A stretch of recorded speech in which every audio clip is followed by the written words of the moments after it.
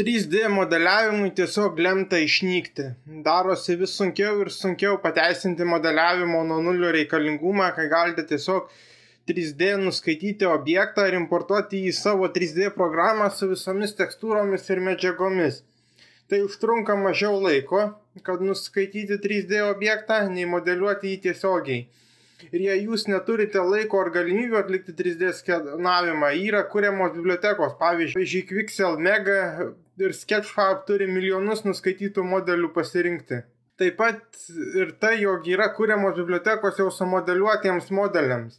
Kai man reikėjo sukurti tokį epizodą Blenderiu, namus esančius kampe panaudojau iš Blender Kit bibliotekos. Man reikėjo šiek tiek juos pakoreguoti, kad atitiktų sceną, bet neteko visko atlikti nuo nulio generatoriai pakeičia poligonų modeliavimą ir ne lietai kaip atrodo, o labai greitai.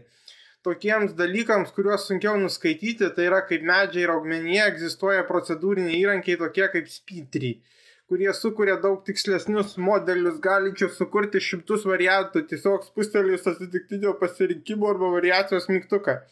Ir visai nenoriai, bet užpilant netyčia druskos ant žaizdos, dirbtinio intelekto 3D modelių generatoriai yra jau visai už kampo. Dabar dirbtinis intelektas yra aktuali tema visų rušių kūrybininkams.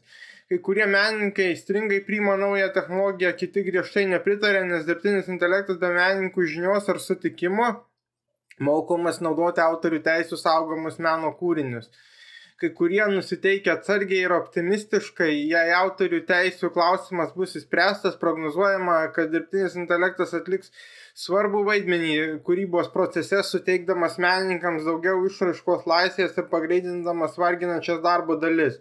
Tai milijonų dolerių vertės klausimas.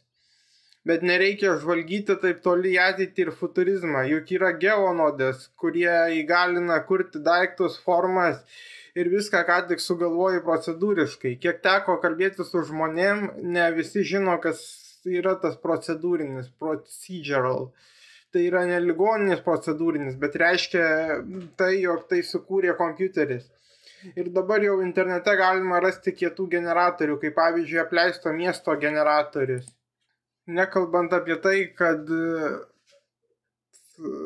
kai kurie ekspertai mano, kad 3D modeliavimas, ypač sudėtingesnių 3D personažų modeliavimas, bus pamažu iš industrijos žmonių perimtas tiesiog programinės įrangos.